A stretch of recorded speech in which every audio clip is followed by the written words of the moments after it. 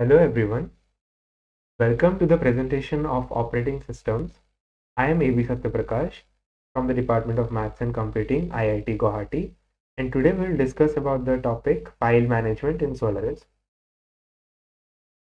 Let us first begin by taking a look at what all topics we are going to see. First, we'll have a look at the inter, uh, have an introduction to Solaris as an operating system. Then we'll look at what file management means in general and also in particular with respect to Solaris. Then we'll look at the different kinds of file systems that Solaris supports and we'll try to classify them. After that, we will try to look at the idea of file handling, the different commands, and then we'll look at file mounting and unmounting. And finally, we'll conclude by taking a look at certain security aspects and sharing of files. So uh, Solaris is actually a proprietary or a closed source Unix operating system which was developed by Sun Microsystems uh, back in the 1990s. Oracle acquired Solar, uh, Solaris after it acquired the entire company of Sun Microsystems. Uh, so this operating system came to be known as Oracle Solaris. Uh, Solaris is very powerful because it's great with SPARC systems.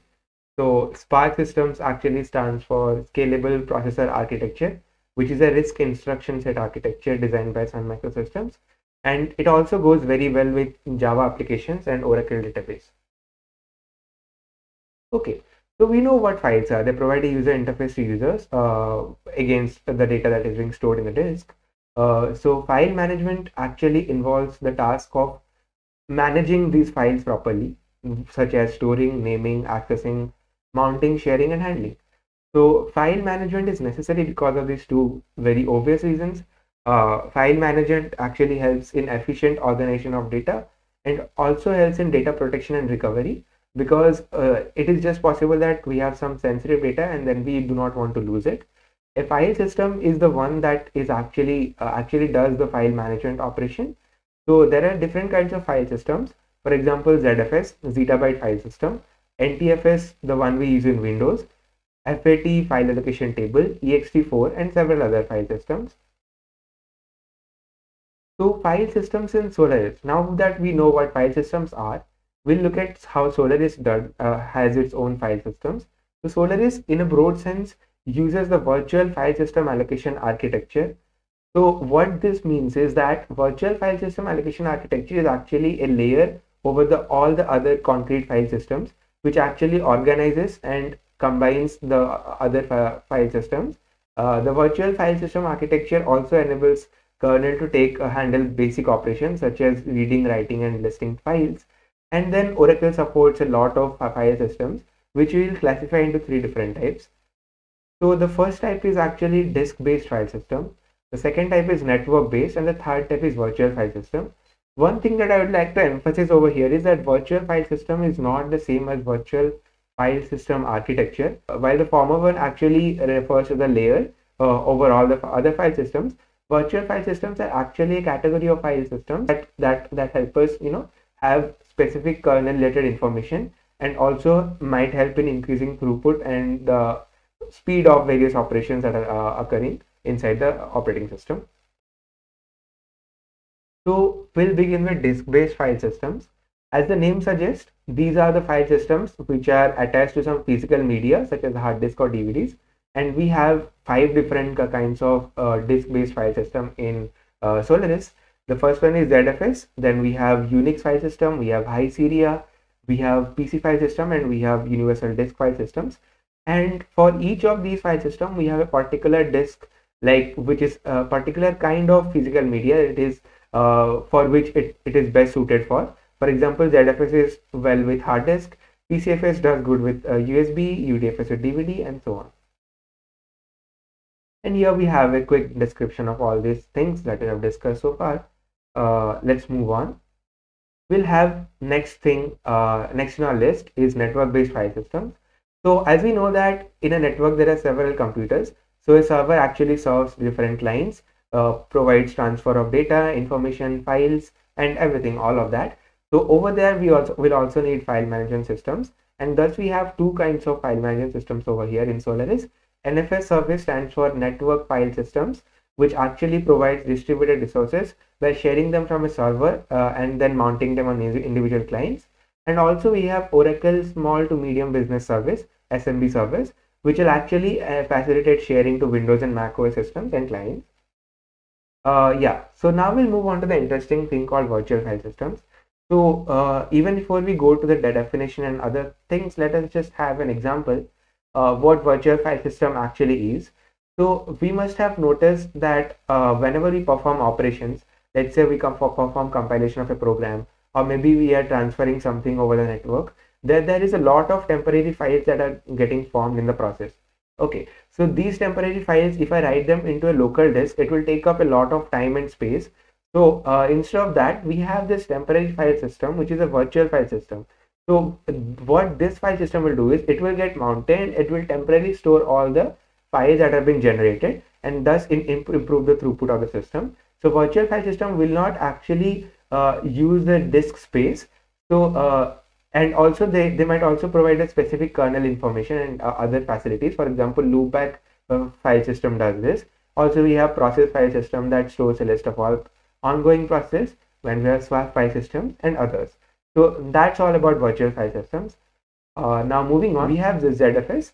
So ZFS is the default file system uh, for Solaris. Uh, and it's quite powerful because it has several new features in it such as data deduplication, data compression, etc.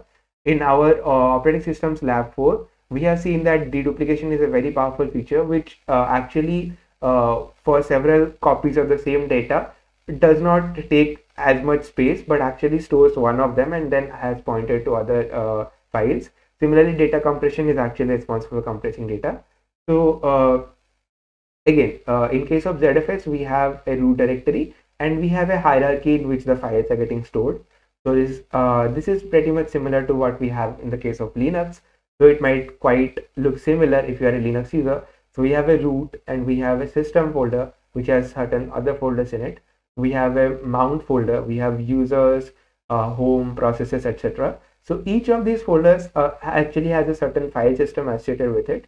For example volatile has temporary file systems mount has mount file systems and so on. So these file systems are responsible for maintaining the files inside this particular folders. Uh, and yeah. So now we'll move on to file handling. Uh, now that we have seen so many different kind of file systems the first question that arises is how to know what is the particular file system at a given location or at a given partition of a disk. So fs type is that particular command which helps in uh, solving this problem. So fs type will actually return ZFS if it means that this particular partition has a ZFS file system on it. Similarly, cp command is used to copy and minus r does it recursively that is in a directory all the folders and files inside it are copied. Move uh, as a smart trick can rename it or maybe can move it to a particular location Touch is used to create a file. And uh, also we have mkdir which makes a directory and rm is used for removing them. Like rm um, yeah. Also rmdir actually removes a directory but that has to be an uh, empty directory. But rmdir minus r actually removes all the files and folders inside the directory. So again it's a recursive removal. Uh, and then we have diff. Also there are other commands. So these are pretty much similar to linux again uh, and also since there are so many other commands i have attached a link of docs over here uh, through which you can go and look at other commands. Yeah moving on we come to the concept of mounting.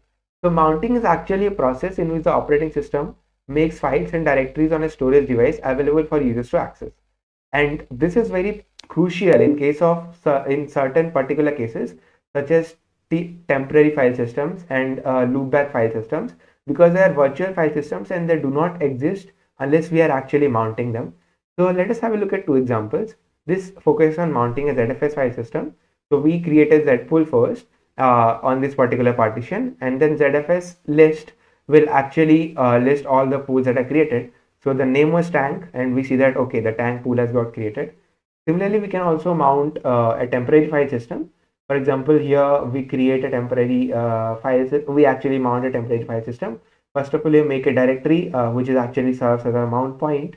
And then we give the permissions to it because we need to store files inside it. And then we assign a size of 50 MB to it from swap space. And uh, that pretty much does it. Mount minus u will actually make sure that I have mounted this uh, temporary file system correctly. And unmounting is rather easy. Uh, we can, we just have to use the command u mount and the mount point uh, where the file system has got mounted.